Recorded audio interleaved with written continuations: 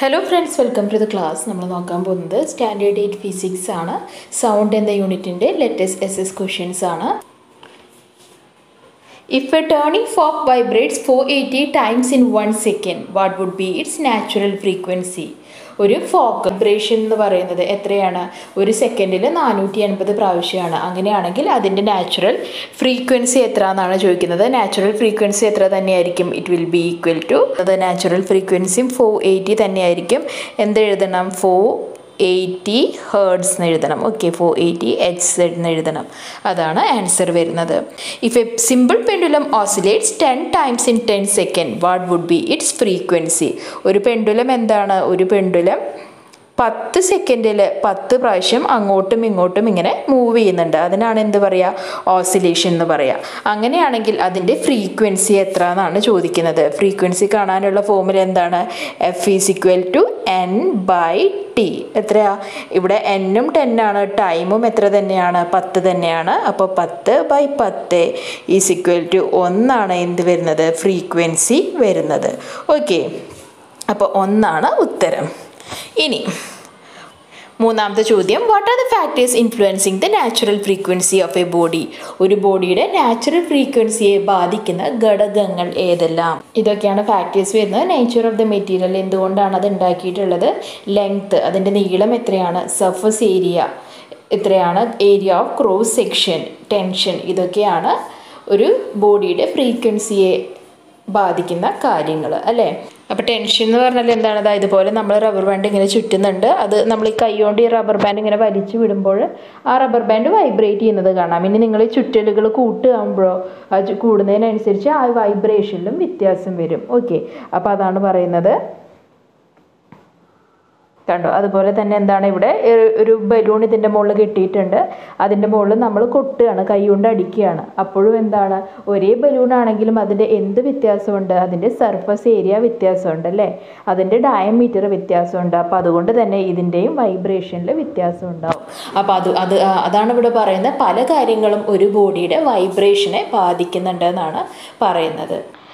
നാലാമത്തെ ചോദ്യം. The frequencies of certain tuning forks are given below find out which among these have the highest and the smallest pitches ഇവിടെ കുറച്ച് frequency കൊടുത്തിട്ടുണ്ട്. ഇതിൽ highest pitch ഏതാണ് lowest pitch ഏതിനാണെന്നാണ് ചോദിക്കുന്നത്. ഹയസ്റ്റ് പിച്ച് ഏതിനാണ് ഇവിടെ കൊടുത്തിട്ടുണ്ട് കണ്ടോ? Five hundred and twelve hertz കൂടുതൽ അതിനാണ് ലോവസ്റ്റ് ഏതിനാണ്? ഇതാണ് answer high pitch five hundred and twelve low pitch two fifty six അടുത്തത് in the sources of sound given below vibration in which main part produces sound ഇവിടെ കുറച്ച് instruments കൊടുത്തിട്ടുണ്ട്. അതിൽ ഏത് ഭാഗമാണ് വൈബ്രേറ്റ് ചെയ്തിട്ട് സൗണ്ട് പ്രൊഡ്യൂസ് ചെയ്യുന്നത്? ചെണ്ട ഫ്ലൂട്ട് വോക്കൽ കോഡ് ഓക്കെ ചെണ്ട ഡയഫ്രം ആണ്. ഫ്ലൂട്ട് എയർ അല്ലെ? എയർ പാസ് ചെയ്യുമ്പോഴാണ് അതിൽ വൈബ്രേഷൻ വരുന്നത്. വോക്കൽ കോഡിൽ ലാരിങ്സ് ആണ്. അടുത്ത ചോദ്യം. Design and activity to prove that sound can be propagated even through solid substances കരങ്ങളിലും എന്ത് നടക്കുന്നുണ്ട്? സൗണ്ടിന്റെ പ്രൊപ്പഗേഷൻ നടക്കുന്നുണ്ട്. അതായത് അതിലൂടെ അത് സൗണ്ട് കടത്തി വിടുന്നുണ്ട് എന്ന് കാണിക്കാൻ വേണ്ടിയിട്ട് ഒരു ആക്ടിവിറ്റി ചെയ്യാനാണ് പറഞ്ഞിട്ടുള്ളത്. ടെക്സ്റ്റിന്റെ ഉള്ളിൽ തന്നെ ആക്ടിവിറ്റി കൊടുത്തിട്ടുണ്ട്. നമുക്ക് ഇത് എഴുതാം. Using a string and match boxes we can make a toy phone അല്ലേ? നമ്മൾ നമ്മുടെ തീപ്പെട്ടി കൂട് എടുത്തിട്ട് അതിന്റെ മുകളിൽ ചരട് ചുറ്റിയിട്ട് ഒരു തീപ്പെട്ടിക്കൂട് ഒരാളുടെ കയ്യിൽ മറ്റൊരാളുടെ കയ്യിൽ വേറൊരു തീപ്പെട്ടിക്കൂടും കൊടുക്കാറുണ്ട്. അതിലൂടെ സംസാരിക്കുമ്പോൾ മറ്റൊരാൾക്ക് അത് കേൾക്കാൻ പറ്റും. അപ്പോൾ അതിന്റെ മീനിങ് എന്താണ്? ആ ചരടിന്റെ ഉള്ളിൽ കൂടെ അത് സൗണ്ട് വേവ്സ് കടത്തി വിടുന്നുണ്ട്. അതുകൊണ്ടാണ് മറ്റേ ആൾക്കത് കേൾക്കാൻ സാധിക്കുന്നത്. ഇനി നെക്സ്റ്റ് ഒരു എക്സ്പെരിമെന്റ് കൂടി കൊടുത്തിട്ടുണ്ട്. Press your ear against one end of a wooden table as your friend to scratch on another side of the table you can clearly hear the sound of scratching നിങ്ങൾ ക്ലാസ്സിലെ ഡെസ്കിന്റെ മുകളിൽ തല വെച്ച് കിടക്കുക. അപ്പുറത്തെ എൻഡിൽ എന്താണ്? നിങ്ങളുടെ ഫ്രണ്ടിനോടൊരു ബെഞ്ചിന്റെ മുകളിൽ ഒന്ന് സ്ക്രാച്ച് ചെയ്യാൻ എന്ത് ഒരു സ്കെയിൽ കൊണ്ട് ഒരു ശബ്ദം ഉണ്ടാക്കാൻ അങ്ങനെ പറയുകയാണെങ്കിൽ എന്താണ് ഈ അറ്റത്ത് കിടക്കുന്ന നിങ്ങൾക്ക് അത് ആ ഡെസ്കിന്റെ ഉള്ളിൽ കൂടെ ആ ഒരു ശബ്ദം കേൾക്കാൻ പറ്റും. അപ്പോൾ അതും എന്താണ് കാണിക്കുന്നത്? Solid allows sound propagation to pass through it okay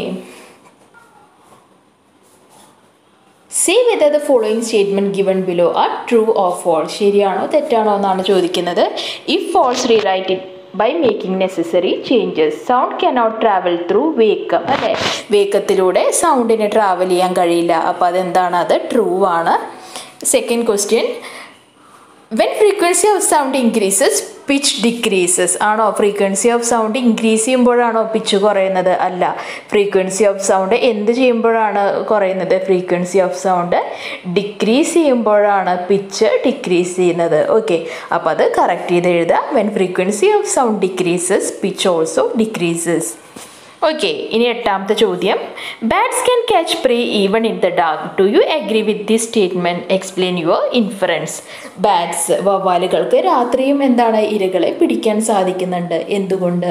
അങ്ങനെ അത് ശരിയാണെങ്കിൽ ആ ഒരു സ്റ്റേറ്റ്മെന്റ് ശരിയാണെങ്കിൽ അതിനെ സപ്പോർട്ട് ചെയ്യുന്ന ആൻസറാണ് നിങ്ങളോട് എഴുതാൻ പറഞ്ഞിരിക്കുന്നത് ഇതാണ് answer the bat emits ultrasonic waves with very high frequencies the sounds are reflected in the environment hitting various objects and returning to the bat as echoes the echo signals enable the bat to form a mental map of it surroundings and thus able to easily catch it spray എന്താണ് bat ബാറ്റിന്റെ ശബ്ദം എന്താണ്? അൾട്രാസൗണിക് waves ആണ് നമുക്കറിയാം. അൾട്രാസൗണിക് എന്താണ്? Human ഇയേഴ്സിന് കേൾക്കാൻ പറ്റുന്നതിനും അപ്പുറമാണ്. Okay അപ്പോൾ ബാറ്റ്സ് ഇങ്ങനെ അൾട്രാസൗണിക് സൗണ്ട് വേവ്സ് ഉണ്ടാക്കുമ്പോൾ എന്താണ്? അതിന്റെ ഫ്രീക്വൻസി വളരെ കൂടുതലാണ്. ആ ഫ്രീക്വൻസി കൂടിയ ശബ്ദം അതിന്റെ ചുറ്റുമുള്ള ഒബ്ജക്ട്സിൽ തട്ടിയിട്ട് എക്കോ പോലെ ബാറ്റ്സിലേക്ക് തന്നെ തിരിച്ചെത്തുന്നുണ്ട്. ഓക്കെ അപ്പോൾ അത് വെച്ചിട്ടാണ് ബാറ്റ്സ് എന്ത് കണ്ടുപിടിക്കുന്നത്? അതിന്റെ പ്രേ എവിടെയാണെന്ന് കണ്ടുപിടിക്കുന്നത്? ഇങ്ങനെ തിരിച്ചു വരുന്ന സൗണ്ട് വേവ്സ് അല്ലെങ്കിൽ എക്കോയിലൂടെയാണ് ഓക്കെ അപ്പോൾ ആ ഒരു സൗണ്ട് വേവ്സിന്റെ ഹെൽപ്പോടെ എന്താണ് അതിനൊരു മെന്റൽ മാപ്പ് ഉണ്ടാക്കാൻ പറ്റും അല്ലെ? ഏത് സാധനം ഇത്ര അകലത്തിൽ ഇങ്ങനെ ഒരു ഒബ്ജക്റ്റ് ഉണ്ട് ഇങ്ങനെ ഒരു വസ്തു ഉണ്ട് എന്ന് അതിന് മനസ്സിലാക്കാൻ പറ്റും. അത് അതിന്റെ പ്രീ ക്യാച്ചിങ് എളുപ്പമാക്കും എന്നാണ് പറയുന്നത്. ഇനി നയൻ ക്വസ്റ്റ്യൻ ആണ്. How do human beings contribute to noise pollution എങ്ങനെയാണ് ഹ്യൂമൻ ബീങ്സ് നോയ്സ് പൊല്യൂഷന് ശബ്ദ മലിനീകരണത്തിന് കോൺട്രിബ്യൂട്ട് ചെയ്യുന്നത്? ഇതൊക്കെയാണ് crackers noise of vehicles noise of machineries air horn drums loud speakers ഇതൊക്കെ എക്സാമ്പിളാണ് അല്ലെ? ഈ വഴിയിലൂടെയൊക്കെ എന്താണ് നോയ്സ് പൊല്യൂഷൻ ഉണ്ടാക്കുക തന്നെയാണ് ചെയ്യുന്നത്. വിച്ച് യൂണിറ്റ് റെപ്രസെന്റ് ലൗഡ്നെസ് ലൗഡ്നെസ്സിനെ റെപ്രസെന്റ് ചെയ്യുന്ന യൂണിറ്റ് ഏതാണ്? ഡി ബി ആണ് ഡെസിബൽ ആണ്. ഓക്കെ ഇത്രയാണ് ഈ ഒരു ലെസണിൽ ലെറ്റസ് എസ് എസ് ക്വസ്റ്റ്യൻസ് വരുന്നത്. ക്ലാസ് മനസ്സിലായി എന്ന് വിശ്വസിക്കുന്നു. ഇഷ്ടപ്പെട്ട ലൈക്ക് ചെയ്യൂ സബ്സ്ക്രൈബ് ചെയ്യൂ. തീർച്ചയായും നിങ്ങളുടെ ഫ്രണ്ട്സിനും കൂടി ഒന്ന് ഷെയർ ചെയ്ത് കൊടുക്കൂ. താങ്ക്